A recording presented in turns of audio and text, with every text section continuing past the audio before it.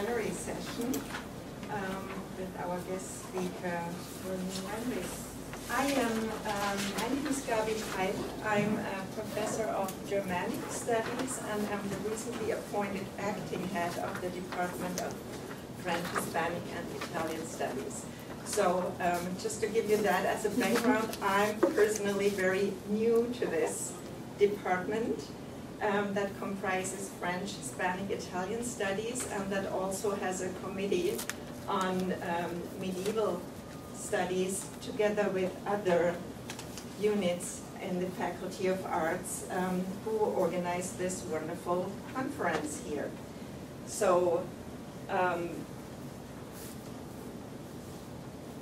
so it's great having here this eighth colloquium of the Gregorian Institute of Canada, and it's even a greater pleasure having Professor William Renwick here. Um, Professor Renwick um, holds degrees from the University of British Columbia, a Bachelor and Masters of Music, and um, PhD and um, Philosophy, Master of Philosophy from the City University of New York. And he is a professor of music theory in the School of the Arts at McMaster University at present. And he's also a founding member of this society, the Gregorian Institute of Canada. So his speech today, his presentation today, will be about an editorial project he has going on. Um, it is a multi-volume modern performing and scholarly edition of all the surviving liturgy and music of the Sarum Rite. And um, yeah, it seems that, um, so I, as, as I told you, I'm a scholar of Germanic studies. I am um, I'm very interested in medieval studies as well, and I am doing um, quite a bit of scholarly editing um, concerning literature. So um, I was very intrigued by reading your um, project and publications records, um, how many editorial projects uh, to um, medieval chant and Gregorian chant you are bringing to the academic world and to your colleagues. And I think that everyone here is very much looking forward to your presentation. And please join me in welcoming Professor Renwick. Thank you very much. So it's great to be here. It's very exciting for me. And um, sometimes I wonder whether any of this internet stuff is actually noticed by anybody. So it was so exciting to see the last presentation that uh, excerpts from this project are being used in Japan. You never know what's going to happen with the internet. And I know we're going to get hungry soon, so I'm going to go along as quick as possible through this material. so the paper is intended in part as an introduction to, uh, to Sarum chant in general, and also part as an explanation of the plan and progress of this large project called the Sarum Rite, which appears on the internet at that address. So the history, the Sarum Rite is perhaps best understood as being based on a combination of Anglo-Saxon and French traditions, developed in the aftermath, aftermath of the Norman conquest. Let's see, does this work? a prehistoric hill fort in Wiltshire became under the Romans the fortified town of Sorviodunum, from which Salisburia, Sarum, and Salisbury are derived. Under the Anglo-Saxons, a Christian church was built there, and following the Norman conquest, a castle and cathedral were constructed during the time of Bishop Osmond, a Norman who died in 1099, and who was also Chancellor of England, uh, Earl of Dorset, and Bishop of Sarum. Although St. Osmond is accorded prominence in the establishment of the Sarum Rite, the extent of his activity is not accurately known. The disadvantages of the hilltop site eventually led in 1219 to the siting of a new cathedral and the building of a new town on the banks of the river Avon under the leadership of Bishop Richard Poore. And the new cathedral was constructed in 1220 to 1258 and dedicated to St. Mary. thus Sarum took to heart the growing veneration of Mary that characterized the later Middle Ages. Like other large secular establishments staffed by regular canons, Sarum maintained a full round of daily liturgical offices from Matins through Compline, as well as two or three dozen masses per day in the various chapels and chantries of the church. The customary and ordinal of Sarum, developed uh, at Salisbury, provided detailed regulations governing the structure of the establishment, as well as directing the order of the liturgy. And these rules and guidelines were adopted by many other churches throughout the British Isles. And thus, at a time when local customs pervaded liturgy in the West, the Sarum liturgy and ceremony became renowned throughout Europe. With the advent of printing, many editions of Sarum liturgical documents appeared, such as the Missal, Breviary, Antiphonale, Graduale, and Hymnale. In the early 16th century, under Henry VIII, the Sarum rite became the sole authorized form of worship throughout the realm. And the Sarum rite was finally superseded by the English Book of Common Prayer in Britain in 1558 on the death of Mary Tudor, and prior to the institution of the Tridentine reforms on the continent. Thus, the Sarum was in no way affected by the alterations brought about by the Roman Catholic Reformation. Like the Milanese and Dominican forms, the Sarum was never formally abolished by the Roman Catholic Church. And despite the ravages of the Reformation and the Interregnum, during which time so much of medieval culture was destroyed, a virtually complete, complete set of Sarum liturgical documents is available for study. In comparison, sources of other rites, such as York, Lincoln, or Hereford, to name a few, are only partially extant. So now a little bit about myself and how I got into this. In 1979, I began work as a church organist here in Vancouver, my first appointment was at Augustana Lutheran Church. While practicing in the organ loft one day, a Roman Catholic priest came up and introduced himself to me as Father Donald Nielsen. he had been brought up in this very Lutheran church, but particularly under the influence of Healy Willan, he had developed a deep passion for the Catholic liturgy and music, and had subsequently joined the Roman Catholic Church and become a priest. Father Nielsen invited me to play organ for Sunday Vespers at his church, and there I accompanied the chanted psalms and hymns uh, that were sung mostly from the English hymnal. Meanwhile, under the inspiration of a certain William Mart,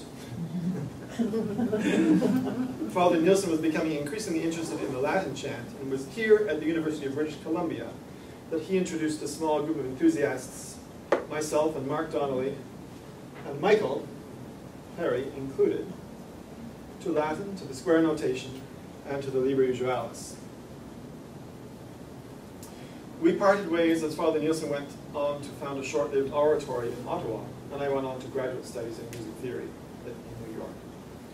And it was in New York that I chanced on the Order of Vespers, which provided a detailed English version of the Sarum Vespers, and this is by G.H. Palmer from the uh, early part of the uh, 20th century.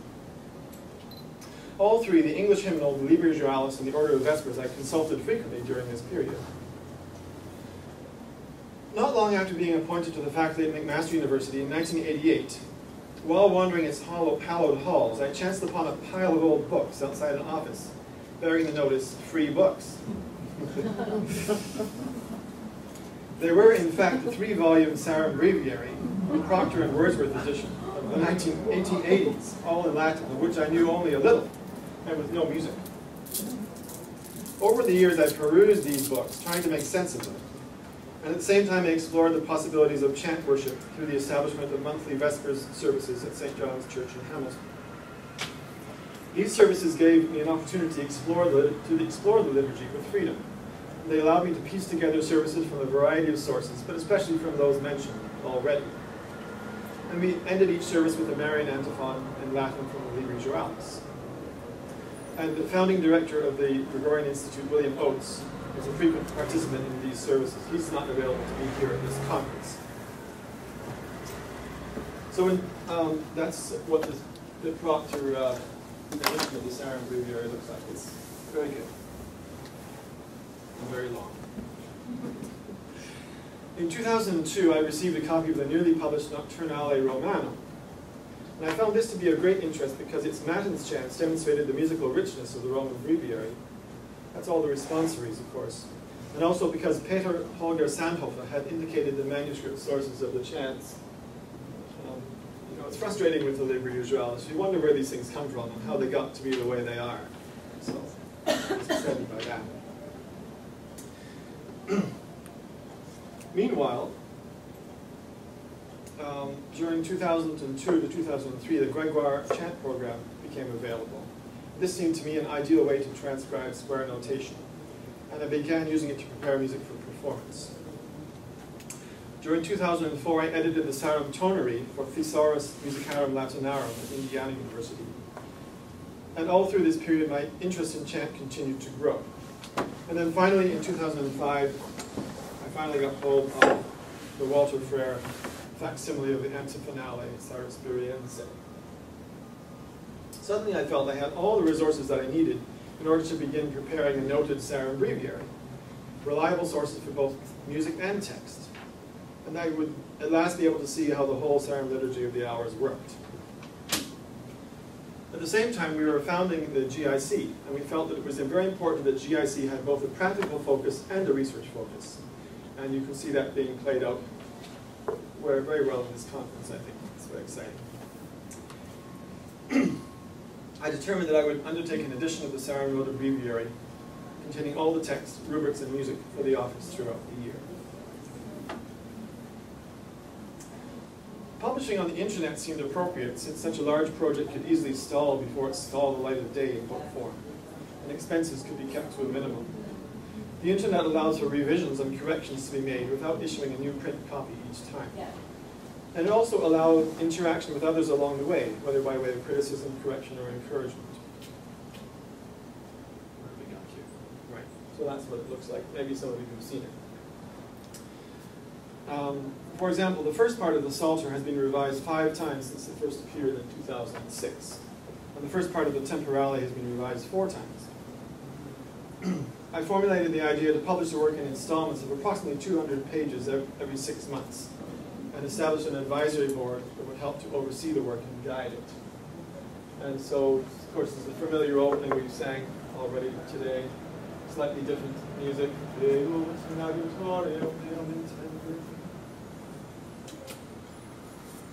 Several features of the work that are of note. Um, first, uh, like in the uh, Nocturnale Romanum, the sources are, uh, so the text and music of each item are indicated. Second, extensive end notes allow for the incorporation of scholarly apparatus, of variant readings, corrections, and commentary, etc. And third, the in inclusion of the cantus numbers so we can cor correlate directly the Sarum chant to the, to the repertoire of plain chant as a whole.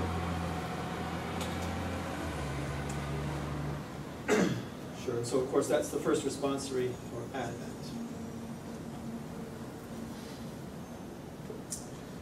Around 2008, McMaster University subscribed to the early English books online, and this made available an extensive collection of over 100 printed Sarum books, dating from 1480 to 1558. So we have the same thing in print form. This is the, uh, yeah, the 1519 Antiphonale.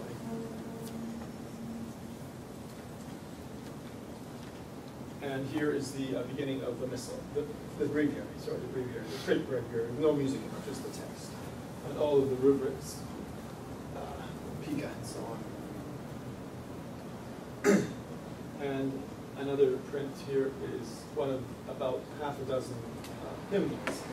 And like the hymn we sang this morning, one of the points of the Sarum hymnals, which is explained over here, is to make sure that the uh, alignment of text and music is correct in every verse. So every verse of every hymn is printed out. Of course, this, this one is simple because it's one note syllable.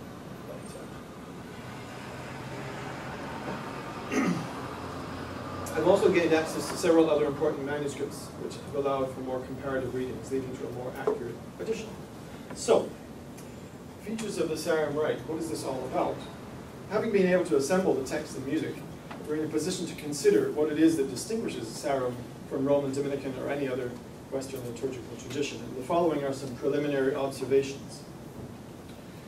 as mentioned above, Sarum in its inception was a combination of indigenous Anglo-Saxon uh, worship, which is Western, straight Western really, uh, and imported Norman liturgy. This gives a distinctive quality to the Sarum calendar, as can be seen in comparison with the contemporaneous Roman breviary of 1529. So those are in Sarum and not in the Roman. These are in Roman and not in Sarum. It's not a complete list, but it's, it's the main the main parts. So Sulpicius, um, Wulfstan of Worcester, Julian of Le so there's French as well as um, English and Anglo-Saxon in here. Bridget of Kildare, David of Wales, Chad of Mercia, Edward, King of England, Cuthbert of Northumbria, Richard of Chichester, Alphege, Erkenwald of London, John of Beverley, Dunstan of Glastonbury, Aldhelm of Sherborne, Augustine of Canterbury, Basil the Great, Alban the Martyr, Ethelred of Ely, Swithin of Winchester, Osmond of Salisbury, and so on. Interested? Well, Maurice and Companions, which is a French one. Michael on Mount Tumba, in his French. Crispin and Crispinian of Gaul, um, Benefit of Wales, uh, and so on. And saints conspicuously, I think, absent from the Sarum calendar as compared to the Roman calendar are, as you can see them here, the octave of the conception. Paul Hermit, Ignatius of Antioch, Anthony of Egypt, Chrysostom, Dorothy of Caesarea, the guardian angels, Aquinas, uh, Gabriel the Archangel, Joseph, Joachim, Vincent, Isidore, Bernard of Clairvaux, Francis, Martha, Clare, and Louis, King of France, octave of all saints, and various popes. But you get a feeling for the, the different focus and um, so we have more Gallican, Anglo-Saxon, and Celtic saints over here. More Eastern, more biblical, uh, more popes. And also observances of later medieval religious leaders, Francis Clare, Bernard Aquinas. And overall, something like half of the saints' days are different, which has a major impact on the liturgy, since something like half of all the days in the liturgical year would be devoted to saints. Um, features of the chant itself, in comparisons with Roman and Dominican forms, will be discussed and illustrated at the workshops scheduled for tomorrow.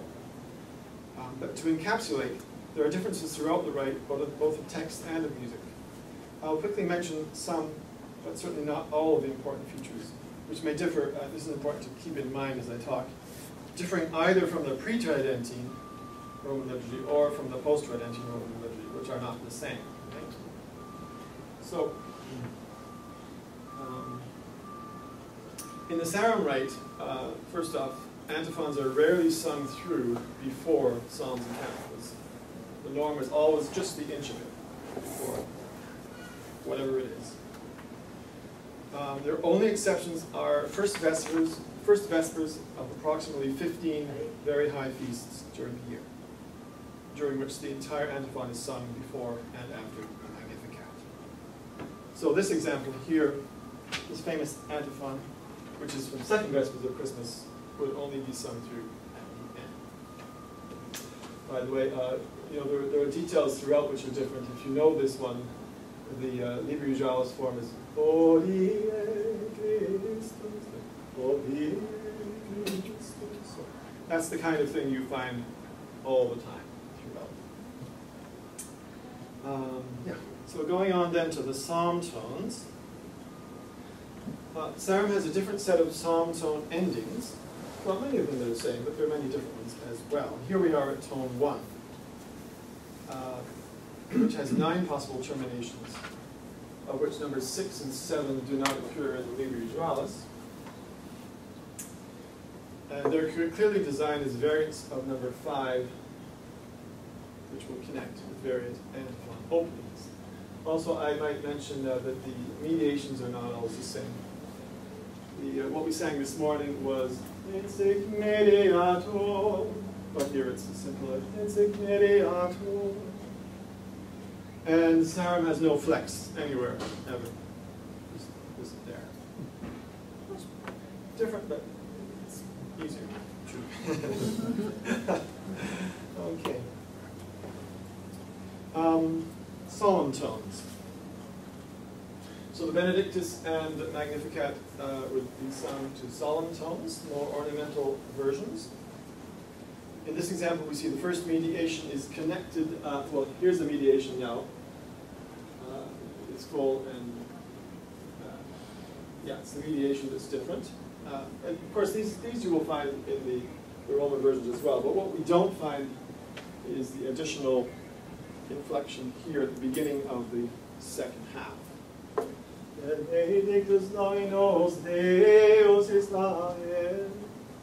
Quia visitavit et fecit redemptionem Deus tuum. And also, um, a minor point, but I find it very interesting, is that uh, the Sarum seems to be quite strict in these um, solemn tones at putting this part on, on an accent. Whereas we find in the individuals, for example, um, Gloria Patri, something like that. But the psalm would be Gloria Patri. But these are minor things, but they add up after a while to a different flavor. Right. Neumas. Sarum chant uses neumas, and a neuma is, uh, we'll learn more about them maybe tomorrow. William? We'll learn more about neumas tomorrow? No. Okay. The, uh, the decorated endings right? will be found at the end of antiphons. Sarum chant uses neumas to conclude the final antiphon on the Psalms at each of the nocturnes, and after the final Psalm lauds, and the Vespers, and to conclude the antiphon of Benedictus Magnificat and Quicunque Vult throughout the year, except from Passion Sunday to the octave of Easter and in the office of the dead. And this example shows the first three. Um, these examples, uh, actually from the Sarum tonary, uh, have an intonation formula followed by the neuma itself here. And these intonation formulas have standardized um, biblical texts as mnemonic, mnemonic devices. So just sing the first one for fun. Please join in if you like.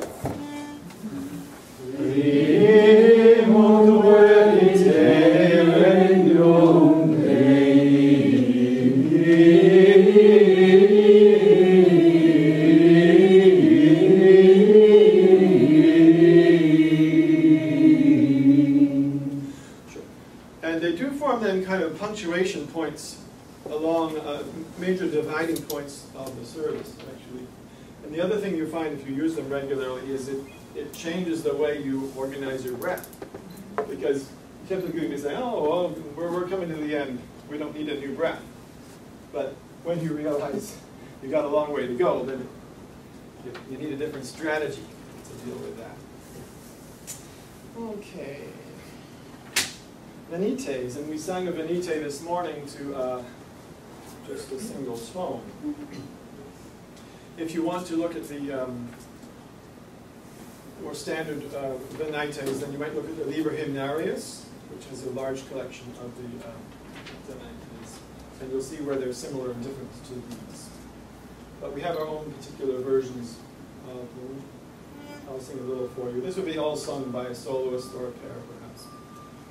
Dignite, exultemus Domino, jubilemus Deo, salutari nostro.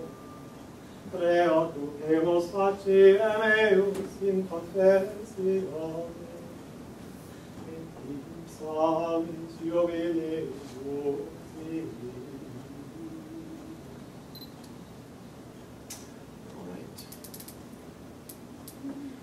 With regard to the set pieces, antiphons, responsories, introits, graduals, etc., Sarum chant sometimes uses the same pieces as the Roman, sometimes the same as the Dominican, and sometimes completely different. And if you come to the workshops tomorrow, you will uh, experience that.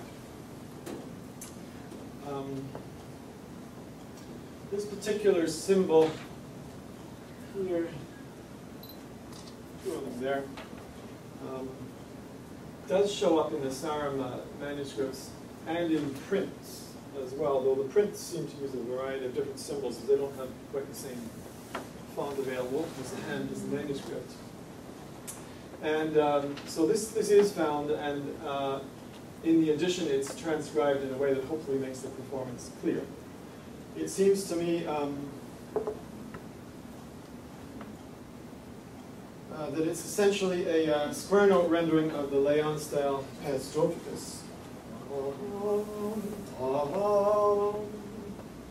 And uh, I call it kind of S. And the equivalent to that really is, is a lengthening of the upper note, or a doubling of the upper note, if you prefer to, to say it that way. And so this is a transcription of that. Here, the doubling, and here, the doubling. And um, Resurgent Temque and the rising from the dead. And uh, Ted, it's following in on your idea of yesterday. The rising is rising here.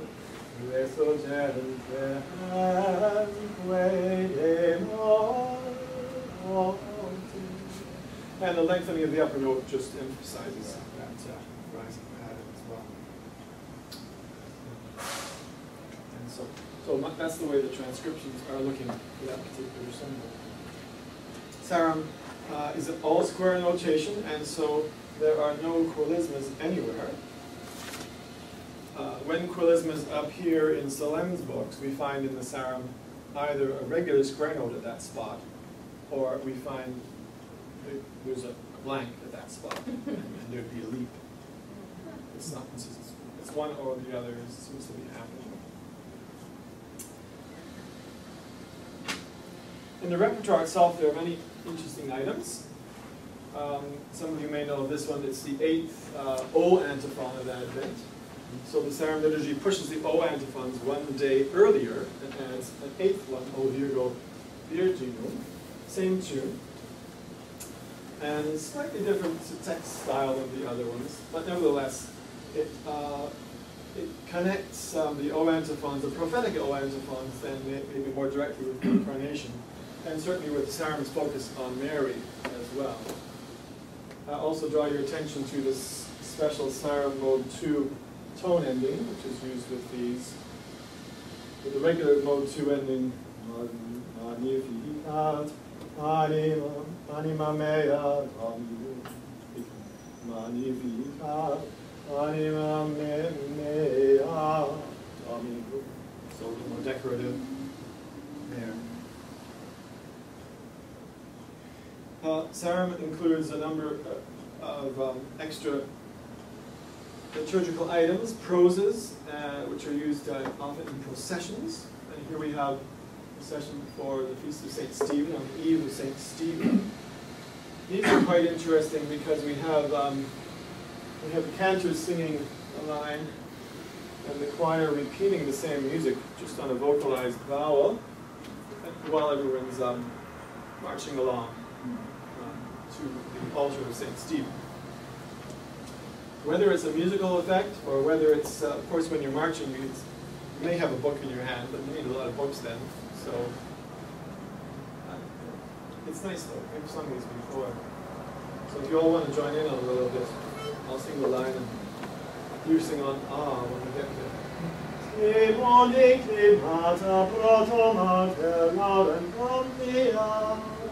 Oh.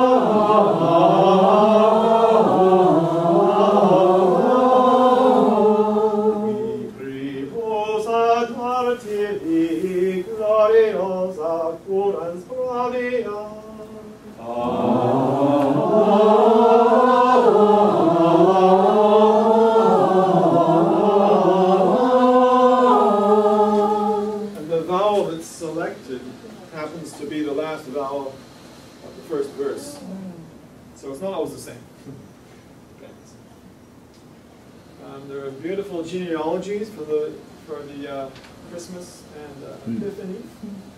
These would be sung by a soloist or a deacon, most likely. And we'll just pass by that. Um, lots of tropes in the ordinary of the Mass. Uh, this is not the ordinary. This is actually the Kyrie from um, the last three days of Holy Week. I'll sing a little of this. It's quite beautiful. So Kyrie eleison, Christe eleison, it continues, obviously, Kyrie eleison later on.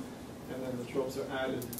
If you'd like to join in Domine, um, no, join in three times Kyrie, so let's join in on the second Kyrie. Kyrie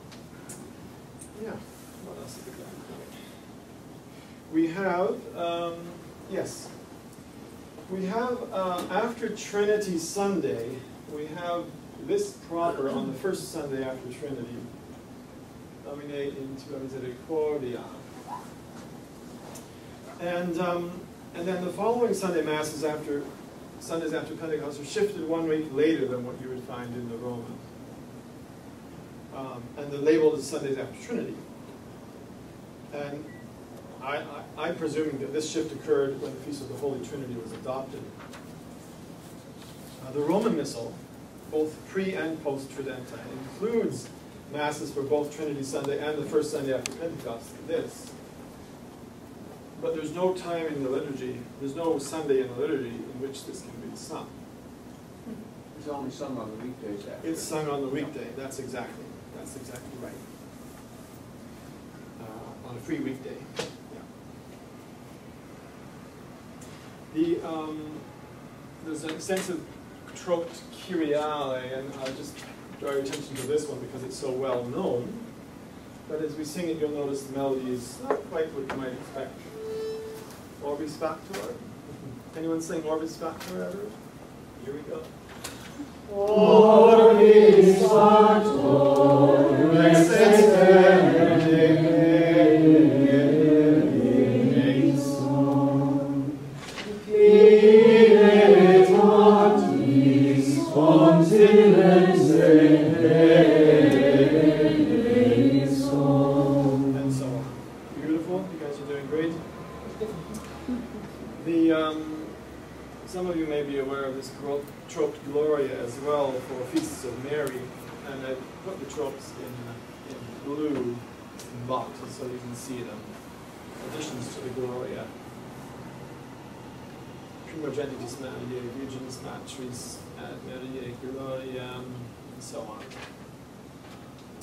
Uh, the Missal contains a number of uh, offertory verses. Uh, oh, we got, we got um, sorry, we're, we're on to uh, sequences right now. So there's an extensive selection of sequences, some of which are well known and some which are relatively obscure. And here are the one for St. Andrew. And I'll just point out, it's got great examples of the so-called Gallican cadence or lower leading tone cadence. Here, because it's B flat, you can see at the front. And Sacro Sancte Gloriae me Festitatis Precoria. That kind of thing.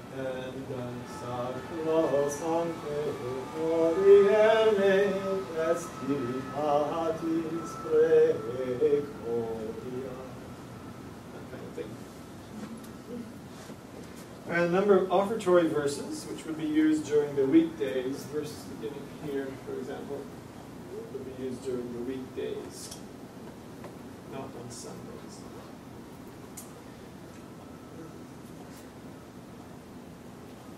In terms of the music itself, of the ordinary and proper of the Mass, of the antiphons and responsories and hymns of the office, we find numerous variants in the Roman forms throughout the repertoire.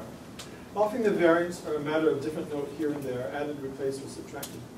But there are also a good number of instances where the music diverges considerably in comparison to the Roman forms, and several instances where completely different pieces are used. And once again, the workshops will go into that in detail. The Matins lessons um, have extensive readings from the Venerable Bede, Venerable Bede and others, which are not found in the Trident- Tridentine and modern breviaries, of course. The processional, the Sarum Rite includes an extensive and detailed processionale with descriptions and illustrations of the order of processions on major feasts. And here we have uh, um, Christmas, and this actually is a, a diagram of the order of the procession. Thurifer in front, the uh, cross bearers, deacons, candelabra holders, the sword. That's the asparagus. Yeah, that's the regalia. These are the thurifers, the uh, bishop or head priest at the end. And it seems to me, uh, as I study these, that these lines actually important in representing where in the church they're lining up in relation to the chancel step. Or, yeah. Because those, those lines appear on different diagrams in different places, actually. Yeah. Uh, These, are- these represent people, right? They're bald heads. Exactly, That's exactly right. Uh, I thought you'd be very interested in this piece, which we sang last night uh, in the- in the Sarum form, because it, it includes uh, extensive tropes here as well. So if we have time, maybe we'll, we'll have a go at this. Um, so we're just going to go through, I'll just give you a heads up as to what's happening. There's where the tropes begin in blue. I do occasionally use uh, accidentals above the staff to indicate editorial, you know, suggestions. So it's quite an extensive amount, of all of that. Sure. Of course, it's, it's between the O pulchers and O dulces and all, it's really nice. So you, you want to sing it? Yeah.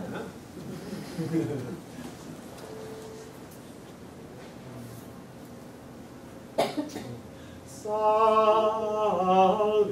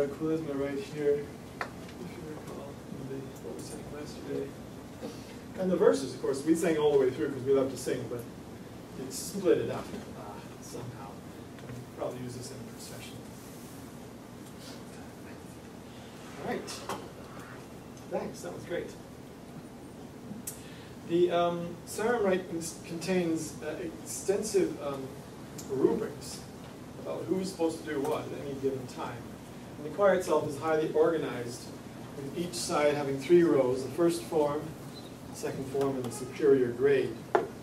And so it's all very clearly laid out who is supposed to intone each piece all the time, and so on. And music would be led by two to five rulers of the choir, depending on the uh, solemnity. Verse at Vespers would normally be sung by two clerks of the second form, middle grade, except on double feasts when it would be sung by two of the superior grade. Except on the first Sunday of Advent, on Passion Sunday, when it would be sung by the rulers of the choir, for example. And that sort of thing is typical throughout as well as extensive rubrics on censing, use of candles, bowing, genuflecting, kneeling, prostration, and all the rest of that good stuff. No doubt, however, um, rubrics would have to be adapted as necess- necessary to local conditions in smaller locations, which did not have all the resources of a full choral establishment. The rubrics re- are reflecting what ought to be going on at the cathedral church itself. but you can imagine what might happen in a little parish church with maybe a priest and a deacon or something. And also the ceremony includes detailed pica or rubrics that indicate the proper offices and liturgies to perform, be performed on any, any given day in any of the 35 possible years, or 70 include uh, leap years. The example uh, shows the beginning of the pica uh, for Advent 1, uh, sorry, first, first Sunday after Trinity, in the year 1A, A being the letter which indicates that Sunday falls on January the 1st, and 1 indicating the first of the five possible weeks in which Easter may fall. 7 times 5 is 35 possibilities. So you can imagine pages and pages and pages of this stuff. On the first Sunday after the Feast of Trinity, all of the service will be of the octave of Corpus Christi. At first Vespers, which is of St. Aldhelm, will be made in memory of St.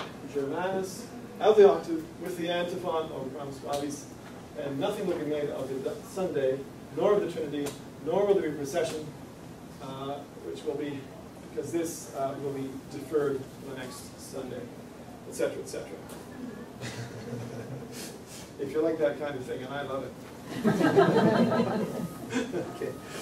And I put out uh, as an example what would ha happening uh, in the year 2013 in August when we are right now, right? Here's, here's what's happening. And we are, we are on today, which is the Feast of the Most Holy Name of Jesus. Greater double with nine lessons, that's as high as you can get, and a full octave. But going back to the beginning of the month, just compare this to what would be happening, say, today. So, Feast of St. Peter's Chains, Feast of St. Stephen Pope, Invention of St. Stephen, the first martyr, 10th Sunday after Trinity, all of, all of the Sunday. Um, okay, Monday, Feast of St. Oswald, Tuesday, uh, which is actually going to be omitted in favor of the commemoration of the Blessed Virgin Mary instead. That's the full office of the Virgin, which would normally be on Saturday, but Saturday's busy, so we'll put it on Monday. Feast of the Transfiguration, Feast of the Most, uh, which is, and the Feast of the Most Holy Name, as I say, is bigger than the Transfiguration. Uh, It lasts all week. The octave of the uh, Feast of the Holy Name is coming along here. The octave, so we don't count that one. We don't count that one. St. Lawrence is a big one, so it trumps the octave of the Holy Name. We come to the Sunday, which would be the 11th Sunday after Trinity, but the octave of the name actually trumps that. So that is only, um, that's, the Mass is only said in chapter. Right.